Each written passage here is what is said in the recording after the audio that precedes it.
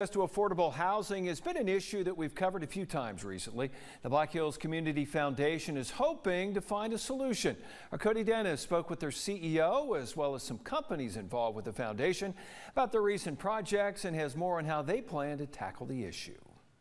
On Wednesday, Liz Hamburg with Black Hills Community Foundation spoke in detail about the Strategic Housing Trust Fund, a fund that offers low interest loans to developers so they can build below market rate housing.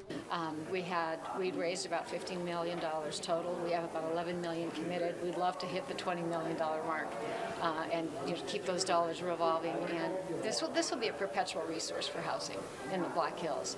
In addition to Rapid City, we're working to develop similar housing trust funds for the communities out in the rest of our territory in the Black Hills. These loans are funded by organizations like Elevate Rapid City, the Bush Foundation, and Dream Design International. A spokesperson for Dream Design International says addressing affordable housing in Rapid City takes more than one company. You know, uh, building a better Rapid City does not happen by, you know, one company dreaming or two companies dreaming. No, this is a community effort.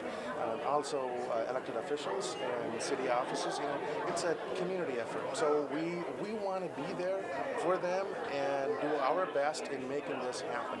Lloyd Companies is currently building Springs Edge, which includes income based apartments. Their spokesperson says tools like the Strategic Housing Trust Fund allow them to start more affordable housing projects in the area. I think we've seen a, a great need for affordable housing in, in Pennington County, Rapid City, and uh, we'll, we'll likely be applying for projects with the state in the future for, for this area to try and help as best we can.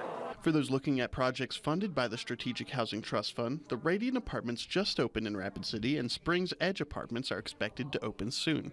Reporting in Rapid City, I'm Cody Dennis.